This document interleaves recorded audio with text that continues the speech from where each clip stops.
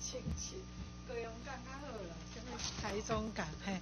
呃，主席，我想请次长哈。啊，叶次长请。我今天早上一路啊，一直赶赶来。委员早。哎，次长早。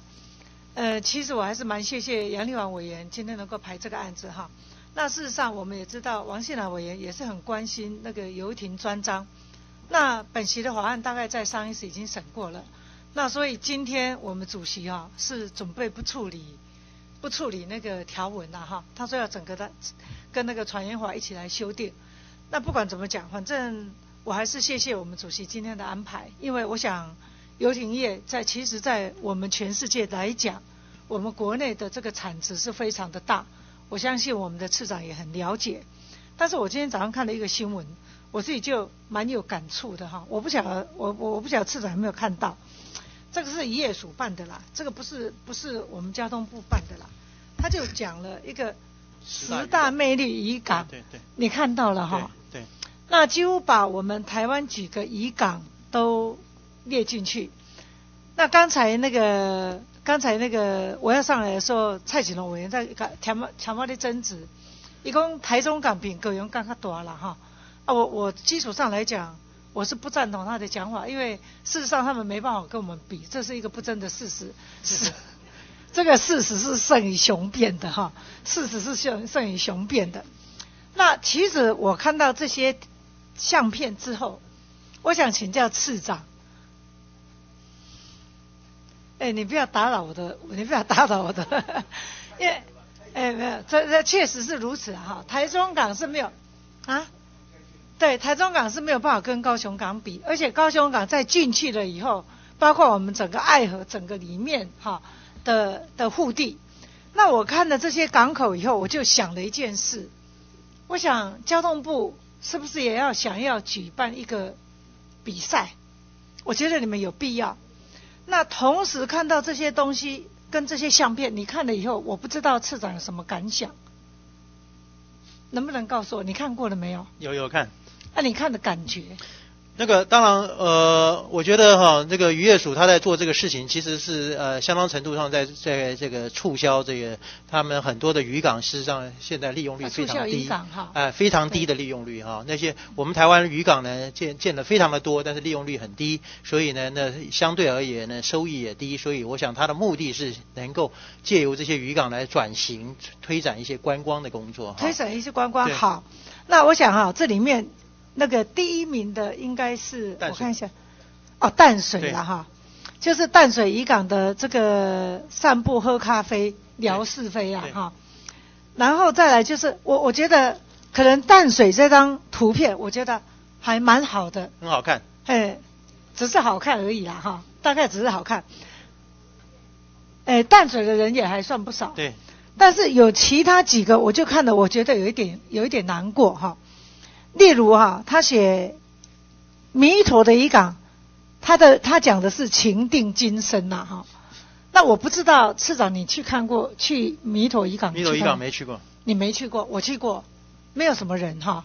然后这个图片看起来好像也不像情定中情定今，好像也不太像情定今生的那个感觉，好像也不太像哈。然后那个。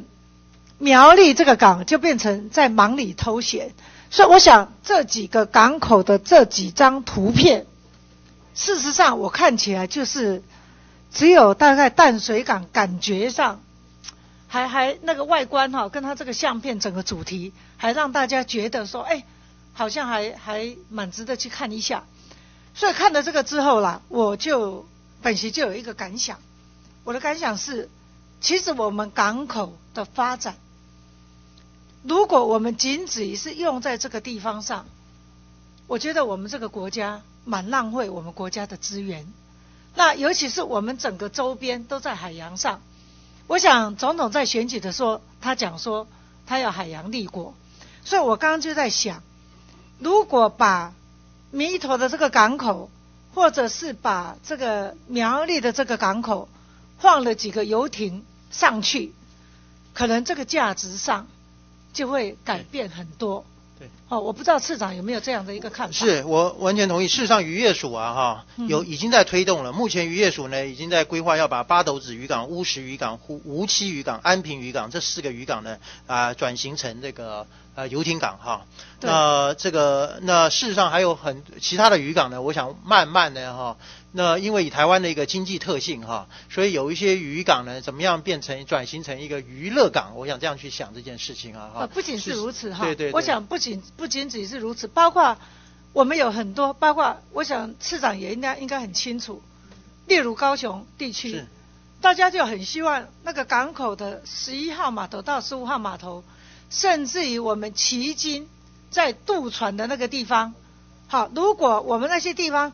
都是放这些小的这个，我我我说不上来。我觉得，我觉得我们的移民真的有够辛苦，好。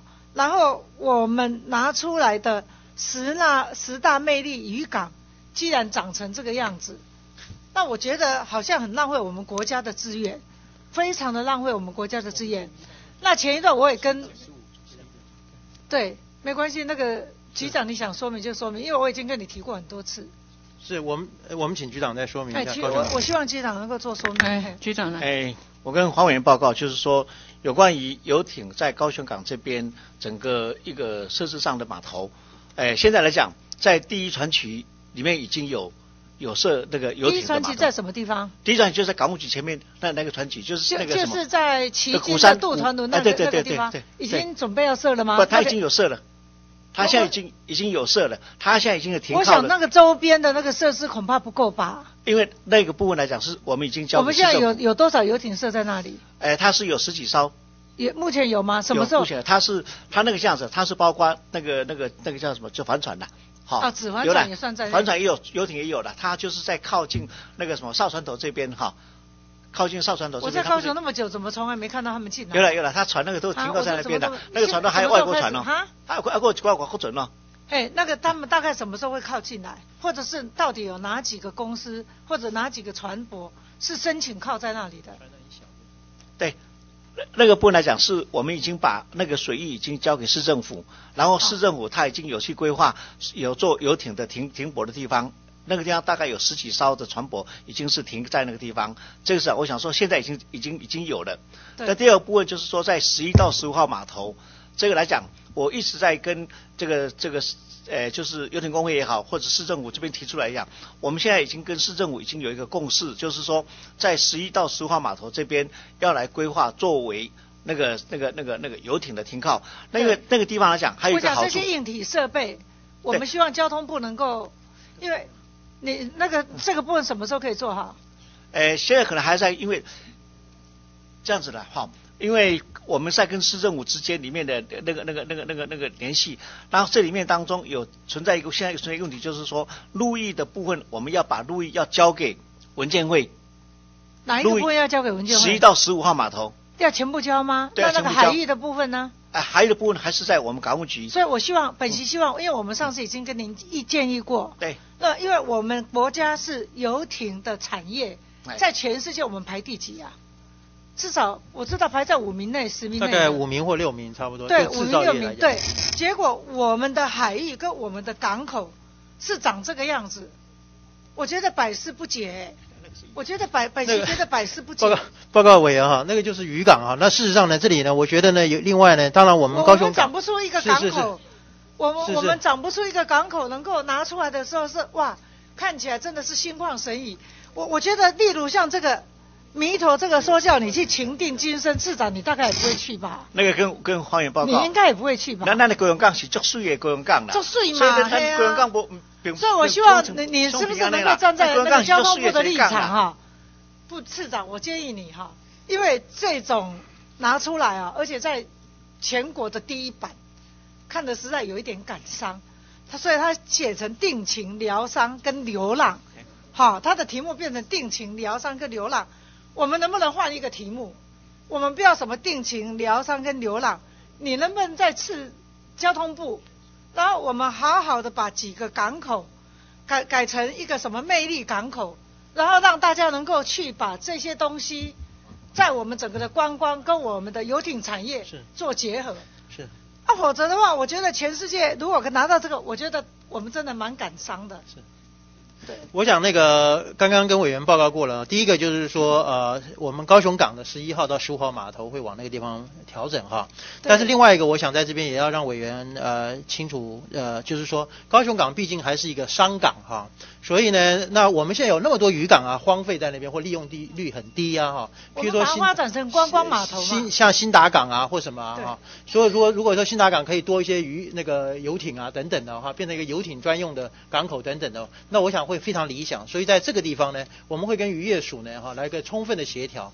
那我们的我们目前港这个商港里面，像花莲港，我们是比较希望能够积极的转型成这个休闲啊、为主的港口。那在高雄港前面的这个一号码头、三号码头、十一、十五号码头这一部分呢，事实上呢已经呃会有计划的交给市政府来做这个处理。好，我我本身很期待哈，就是说，因为您既然来到交通部，而且其实您看到这个的感觉，应该是跟我跟本席是一样的了哈。所以我想，我们台湾有非常多非常漂亮而且很亮眼的点，值得我们把我们自己的产业跟我们当地整个观光把它结合在一起，然后让这个港口来把它做一个比赛出来的时候，能真的吸引一些观光客。其实我们现在现阶段在做这个陆客来台，本席也并不是那么支持说我们把整个的鸡蛋全部放在一个篮子上，而且事实上到现在为止，我们也赶不上、感觉不到陆客来台实际上对我们的观光产业的实质帮助到底有多大。我想这个部分也请市长去做一个评估，是把跟把这个整个的报告，因为观光局还是属于我们交通部的哈是。